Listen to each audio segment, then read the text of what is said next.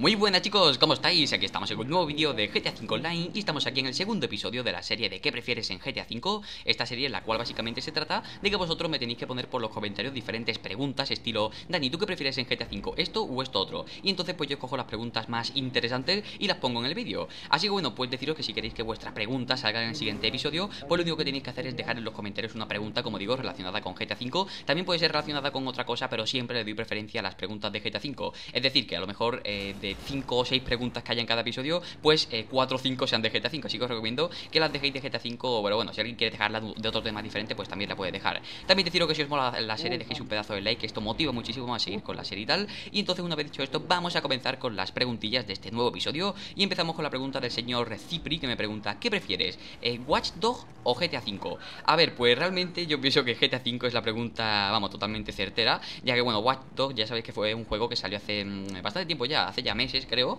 y fue un juego que prometía bastante, pero al final a todo el mundo yo pienso que le defraudó en cuanto a los gráficos, ya que los gráficos eran bastante cutres. Y la verdad es que GTA V es un juego que yo pienso que lo supera en muchos aspectos a Watch Dogs y pienso que es más entretenido en en el caso más, no sé, más concreto, yo pienso que el GTA V es eh, más entretenido que el Watch Dogs, aparte de que tiene un mundo libre en el GTA Online y puedes jugar con todos tus amigos y tal, mientras que en el Watch Dogs creo que no se puede hacer esto, solamente en la plataforma de PlayStation 4 y la verdad es que es un poquitín aburrido no poder estar en el Watch Dogs con ningún amigo y tener que estar tú solo. Así que sí, me quedo con GTA V. Gracias por tu pregunta, señor Cipri. Vamos con la siguiente, me pregunta señor Micrex y me dice, Dani Rep, ¿qué prefieres? Si abren el, bueno, ¿qué prefieres si abren el casino? ¿Póker, tragaperras, blackjack? Eh, a la mierda del casino prefiero que abran el hipódromo.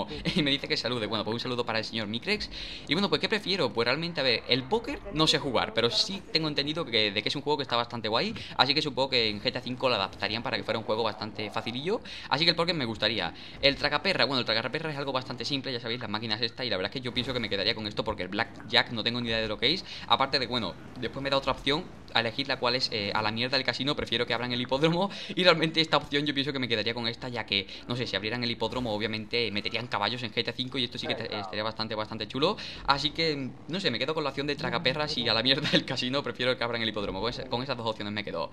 Gracias por tu pregunta, señor Micres, y un saludito que me ha dicho que te saluda, así que un saludo para el señor Micres. Vamos con la siguiente pregunta, me pregunta señor Joel y me dice Joel con L, ¿eh? Sin, no sin la L, que si no sería una palabrota. Como digo, me pregunta, ¿Dubsta 6x6 o Liberator?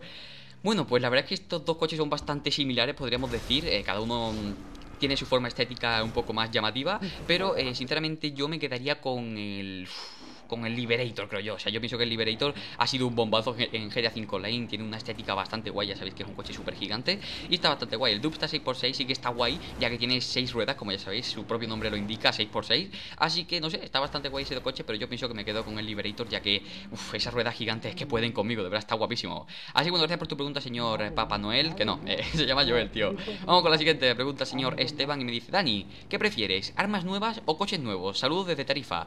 Pues a ver, eh, obviamente... Eh, coches nuevos, está claro, o sea, armas nuevas, pienso que ya hay bastantes armas en GTA 5 Online, a no ser que dijeran, pues vamos a meter armas super mega ultra guapas, en plan como las de, ¿cómo se llama este juego, tío? Como las de Saint Row, que hay un arma así que se llama el, eh, ¿cómo era, tío? El masturbador o algo de eso, ¿no? No sé, una especie de arma así súper larga que le, puedes pegar a, la gente con ese arma y que al fin y al cabo es un pene, ¿no? Un pene de goma, pero bueno, el caso, realmente, si no metieran ningún arma así en plan, arma súper guapa, en plan motosierra, o un arma galáctica, o un arma de rayos, realmente yo me metería, bueno, yo me quedaría con los coches nuevos, ya que con los coches nuevos siempre, no sé, siempre pienso que se suelen aprovechar mal. Así que me quedo con los coches nuevos. Gracias por tu pregunta, señor Esteban. Y vamos con la última pregunta que me pregunta el señor Josep. Y me dice, ¿qué prefieres? ¿Las armas de edición coleccionista o los coches de la edición coleccionista? Sigue así. A ver, pues realmente las armas no sé cuáles son. Creo que son el martillo, la escopeta KSG y creo que había una más o no me acuerdo, no me acuerdo bien. Y los coches son el coche este que está guapísimo, que es así como con cuatro ruedas y que está súper pegado al suelo, que está muy guay. El Hot Knife se llama eso, madre mía, que no me acuerdo el nombre. El Hot Knife y aparte también creo que había otro coche, que no me acuerdo muy bien cuál era, pero creo que el Hot Knife era el que mm, estaba más guay. Así que sinceramente yo pienso que me quedo con los coches de la edición coleccionista, ya que mm, solamente con el Hot Knife ese coche supera todas las armas desde mi punto de vista. Me encanta ese coche, el Hot Knife es un coche que me encantaría tenerlo. Realmente creo que a día de hoy no hay ningún truco para poder pasar, bueno, para poder tener esos coches en GTA 5 Online si no tienes la edición coleccionista. Así que una pena, la verdad, la verdad es que ese coche está guapísimo, no sé si lo habréis visto alguna vez. Creo que tengo algún que otro vídeo por el canal con ese coche y la verdad es que lo peta muchísimo. Así eh, nada más chicos, espero que os haya gustado este vídeo. Podéis dejar un like favorito si os ha gustado, dejar por los comentarios vuestras preguntas para el siguiente episodio. Y nada más, like favorito, suscribiros al canal si no lo estáis y nos vemos en la próxima. Adiós.